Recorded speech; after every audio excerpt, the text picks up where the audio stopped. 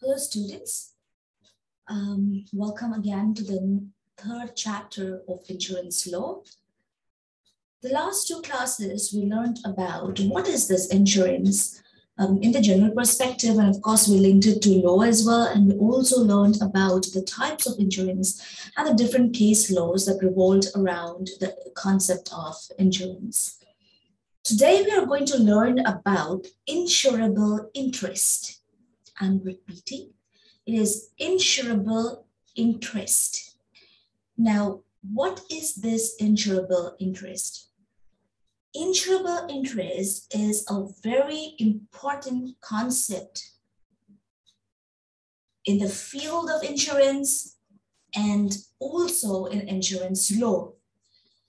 It is the sine non so to say, it is something that has to be there while issuing an insurance policy as well as while determining the claim. As we learned during the last class, we said that insurance policy is normally evaluated by a team of underwriters who study the possibility of uh, issuing a policy as well as the possibility of honoring a claim, an insurance claim. So today we are going to learn about the concept of insurable interest, which is a bedrock concept, a significant concept, and it is a concept that is prevalent in insurance in order to issue an insurance policy the underwriters or the insurance company will, will search for this concept, will infer the presence of this concept, whether at all it is there for the possibility of issuing an insurance policy, as well as towards the end for the purpose of honoring any claim from the insurance policy holder Therefore, it is a sine non, it is an essential element, it is a significant factor that needs to be examined while issuing insurance policy as well as while, you know, honoring the claim of an insurance policy holder. Let us go through our slides now.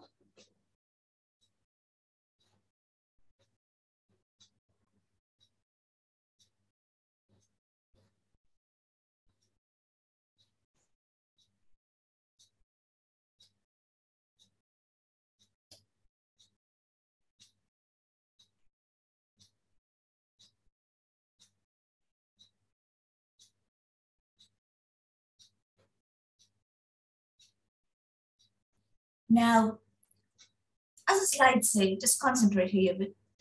Uh, insurable interest is an essential element or a sine non in the contract of insurance. That means it cannot be done without.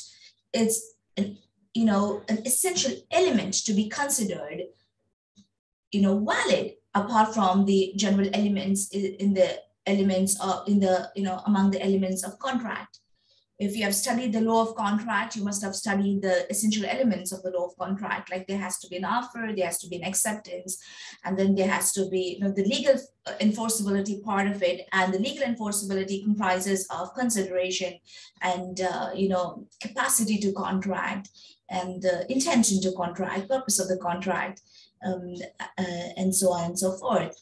So in insurance contracts, the sine non or an elementary factor or a clause that is going to be there is insurable interest.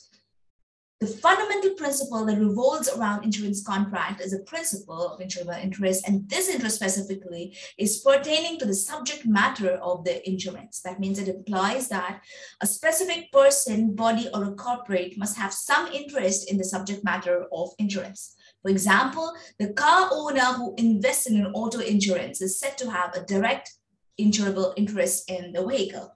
I'm repeating again. The car owner who invests in an auto insurance is said to have a direct insurable interest in the vehicle. Therefore, to have an insurable interest in something would mean that the person seeking the insurance policy would suffer a loss So that is something that we are going to examine, whether when the loss occurs or the event that they seek to insure, when that, that possible event or the probable event occurs, possible or probable event occurs, whether at all the person who's seeking the insurance policy would be put in a bad situation, would suffer a loss.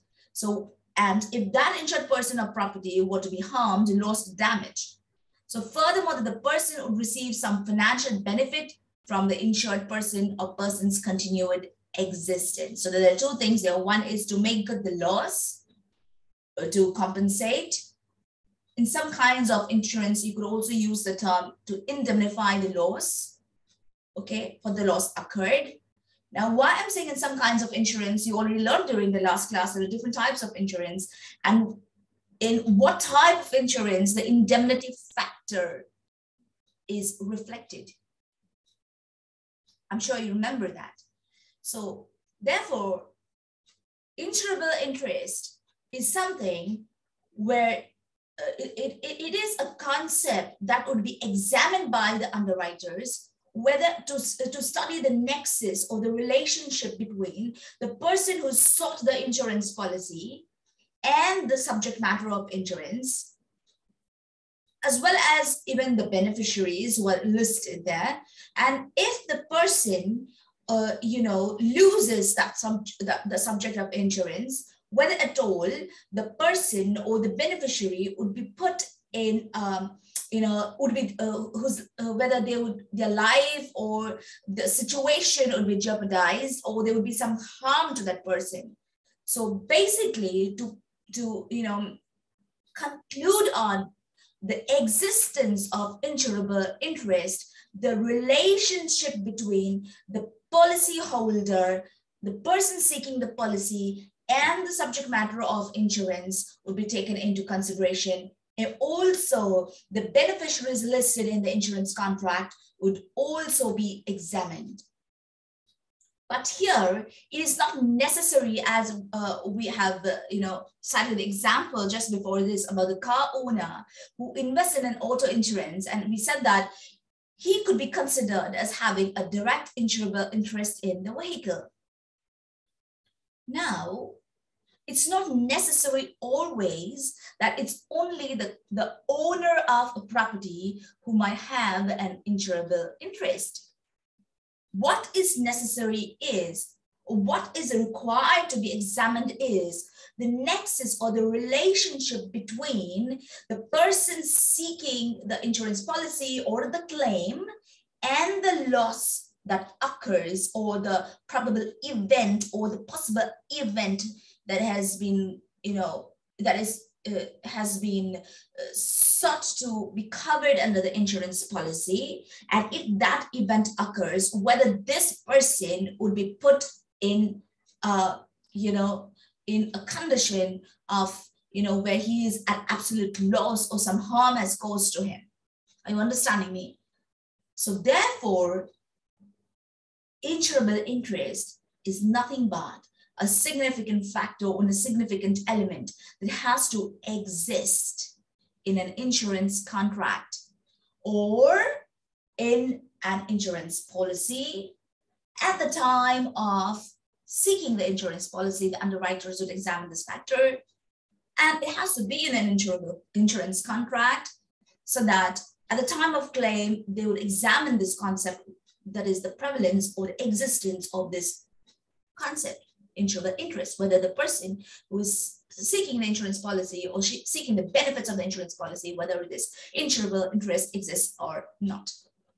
Therefore, this insurable interest in the contract law perspective must be capable of legally enforced. So you see here, are seeing two elements. One is the relationship of the party with the insured uh, subject matter, and two, that it has to be capable of being enforced in the court of law or enforced, uh, you know, in the sense it should be capable of being honored by the insurance company and the right should be capable of being enforced. Now, inferring on the insurable interest in an application for insurance or a claim helps in one, prevention of random issue of insurance. That is, you know, just randomly issuing of insurance uh, policies and prevention of speculation of risks involved. So the definition that is given by Collins Dictionary of Law on insurable interest is that the person has such an interest in a property or in the life of a person if damage or destruction of property or death of a person would expose him to the pecuniary loss or liability. That means it would expose a person to a financial loss or a financial liability as per Collins Dictionary of Law. So insurable interest is therefore an integral part of insurance contract.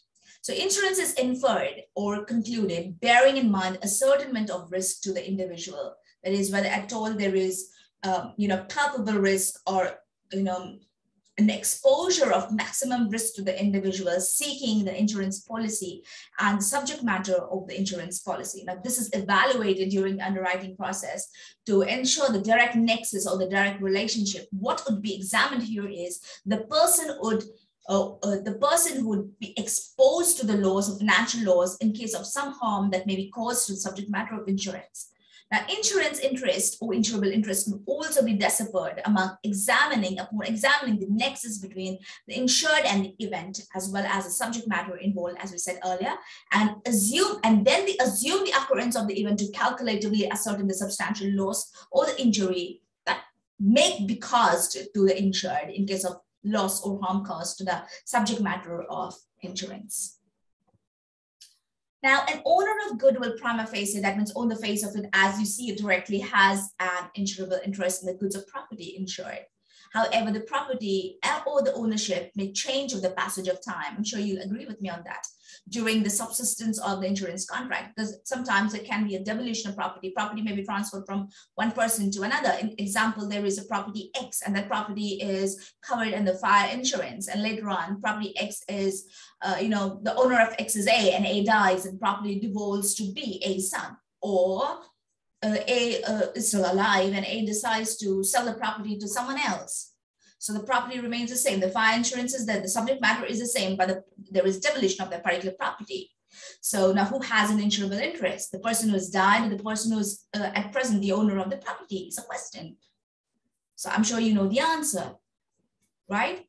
So there has to be an insurable interest uh, there has to be a nexus or a relationship between the subject matter that is a property here and the, policy holder. So therefore, with the passage of time, during the subsistence or the existence of the insurance contract, sometimes it might happen that the ownership may pass to another person or maybe transferred to another person. So in such an event, it gets relatively cumbersome to pinpoint who the owner of the goods is at the time of loss or claim. You know, sometimes it might get a little bit difficult for the underwriters and they might ask you for, you know, several, uh, you know, evidential proof or uh, evidential records to prove that what is the relationship between the policy holder and the one who's seeking the benefits of the policy in case uh, of, uh, you know, the policy holder dies or in case of the death of the policy holder, then there's a, you know, sometimes it gets relatively cumbersome to pinpoint who is the owner of goods at the time of loss or claim or, or who has this insurable interest when the, you know, the problem occurs or the event occurs. So now here a great deal hinges upon any subsequent contract pertaining to sale or even demolition of property. And therefore, it is advisable that insurance contracts also should be carefully drafted. And while taking the insurance policy, the policyholder has to carefully go through the terms and conditions and see that it is you know, in a way that it is beneficial to the policyholder as well and what the policyholder has in mind. The policyholder is also to go through the, the insurance policy terms and conditions, and in case a subsequent contract, go through the terms of the contract. However, in an insurance policy, there are certain terms that cannot be done without. That means you will have to follow the terms and conditions which are which are legally required to be followed and which also as part of the insurance you know company which is normally uh, you know enumerated in a terms in the terms and conditions of an insurance policy in alignment with the law and that cannot be done without. And normally there can be no amendments to that effect. However in case there is a possible clause that could be amended uh, like for example, like who would be the beneficiary and so on. So the insurance policy holder or the one who's seeking the insurance policy is normally advise that they should be careful while, uh, you know, they, they take the insurance policy uh, uh, and see that the, you know, the, the, the, the clauses are clear enough, certain clauses are clear enough and uh, they can, you know, that would really not uh, jeopardize the rights of the other person in whose favor they might want to transfer the insurable interest after their death. So therefore now let's go back to a slide and see that insurable interest is that thus at the heart of an insurance policy. So therefore we say that insurance in, insurable interest, the interest in the insurance is the heart of all insurance policies connecting the insured and the owner of the policy. So insurable interest can be an object, it can be a person, which if damaged or destroyed expires or expires would result in the financial hardship or a pecuniary hardship for the one contracting the policy or the policy holder. Now there is a very interesting case and it's a landmark decision which has to be there in your answers for insurable interest. There is Justice Lawrence J. in Lucena versus Crawford.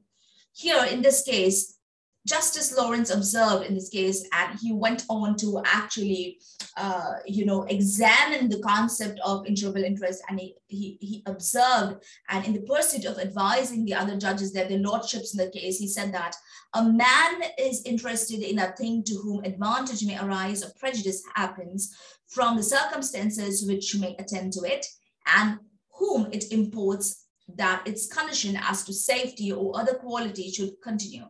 Interest that on, does not necessarily imply a right to the whole or part of the thing or necessarily and exclusively that which may be the subject of privation, but that of having some relationship to or concerning the subject of the insurance, which relation or concern by the happening of the perils insured against may be so affected as to produce a damage or detriment or prejudice to the person insuring. So they are saying that insurable interest could be examined by looking for the concept or looking for who is, you know, really going to be exposed to the risk and to whom detriment would be caused or to whom damage would be caused and whether at all there would be prejudice to the person who is insuring or who's seeking the insurance policy.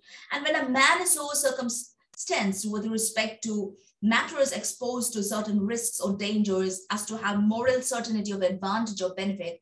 But for those risks or dangers, he may be said to be interested in the safety of the thing.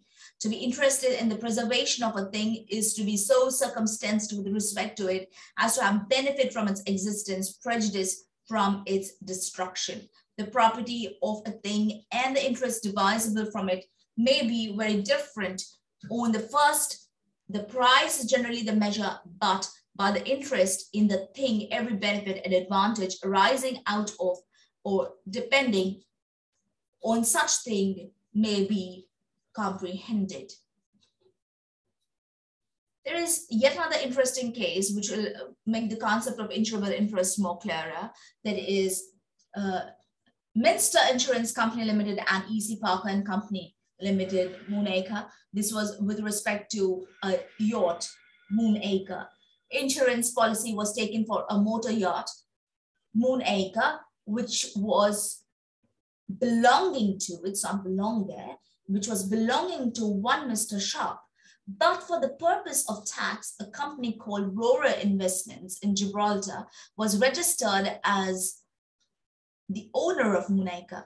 Mr. Sharp was the given power of attorney by the registered company to sail and manage the vessel. And he was also named as assured in the contract of insurance.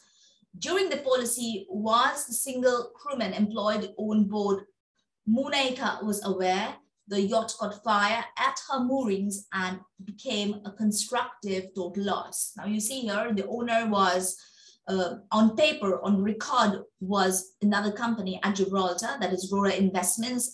And there was another contract that is where Mr. Sharp was given the, the authority to sail and manage the vessel. So Moonacre was away and the yacht caught fire at her moorings and became a, a constructive total loss.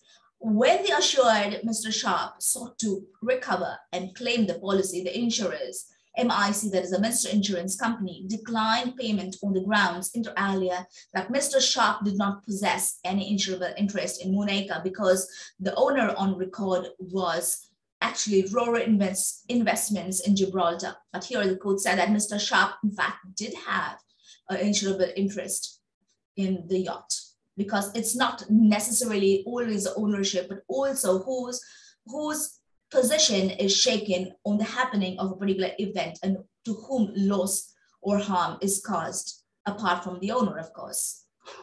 So then they said that Mr. Sharp indeed did have an insurable interest in the Moonacre yacht. Now, for an insurable interest to exist is not always that ownership that matters, but what matters is the actual link or the nexus or the relationship between the insured and the risk insured against. In Berto Camilleri versus Harold Bartley, the court held that for insurable interest to exist, it is not absolute ownership which is required, but the existence of a relationship between the person insured and the thing which could be adversely affected by the happening of the risk insured against. So I'm repeating here again because this is a very important concept because you must understand insurable interest because it's a significant factor in an insurance contract or also to you know avoid uh, a claim under the insurance contract also at the time of purchasing an insurance policy. So therefore, insurable interest has to exist. It is basically a relationship between the person insured and the subject matter of insurance, the thing which will be adversely affected by the happening of particular event or the risk uh, or the risk insured against. So it's not necessarily that has to be an ownership there, but the relationship that who whose condition is jeopardized on the happening of a particular event. So well, this is an interesting case there, Berto Camilleri versus Camilleri, sorry, Berto Camilleri et al. versus Harold Bartley, 2003. Now, let's examine the insurance insurable interest in a life insurance policy. We learned last class what is a life insurance. We also studied different factors that revolve around the life insurance policy and who can seek a life insurance policy. Today we'll learn the factor of insurable interest that revolves around specifically life insurance policy as well. In a life insurance policy, the factor of insurable interest will be determined at the time of purchase of the policy. I want you to pay attention here because insurable interest in a life insurance policy, it is distinct from the insurable interest in, uh, you know, an insurance insurance policy that seeks to cover property or property insurance policy.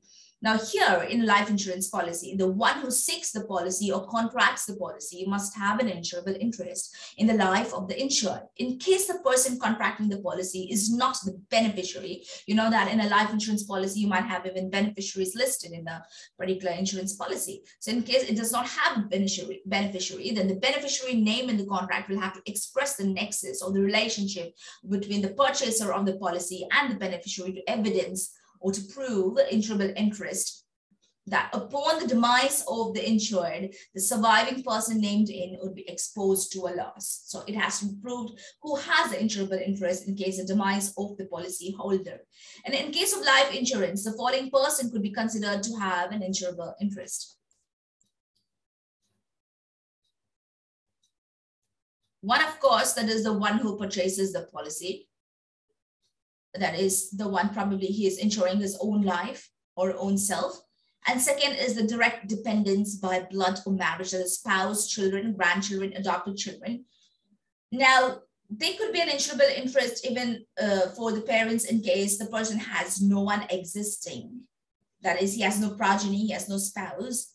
Next is an insurance, a life insurance policy could also be sought in the name of aged parents, but the thing here is the, the consent of the aged parents has to be sought and, you know, they has to, uh, they have to willingly sign the insurance contract. So normally, life insurance, the falling persons would be considered to have insurable interest. That is a person who's purchasing the insurance policy for one's own self or for his own life. And second is a direct dependence by blood, married spouse, children, grandchildren, including adopted children. Now, insurable interest does not exist in case of separate, uh, in case of step parents, uncles, aunties, cousins, neighbors, etc. Obviously, not neighbors. So on continued existence, Bartolo Wood Turner Limited was Middlesea Insurance 2007 case. Here the court observed that an insurable interest exists where the insured may be said to be benefit from the continued existence of the property or life insured and will suffer a loss by reason of its damage or destruction.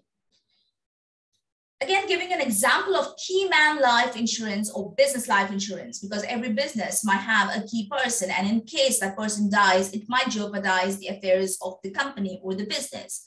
So certain businesses may, may seek or secure a key man life insurance policy where the person who is insured may be regarded as a key person or you know sometimes even the c-suite officers that is the highest level managing directors or maybe you know the ceo of the company their c-suite officers sometimes companies may uh, you know secure an insurance policy in their favor and it would come under the ambit of key man life insurance policy also on a business life insurance Therefore, a business may have an insurable interest in the C-suite officers. So creditors, now moving on to the creditor companies, uh, like who provide loans and so on. So creditor companies or banks, loaning institutions may secure the debtors with a life insurance policy with the absolute consent from such debtors and the policy sought will be equal to the amount owed.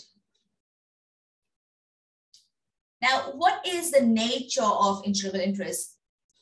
Like we have discussed so far, what is insurable interest itself? From there, you will you should be able to really extract the nature of insurable interest or you know discern and understand and decipher and conclude on what is the nature of insurable interest, even without looking at the slide. I'm sure you would say that insurable interest is a significant factor in an insurance policy.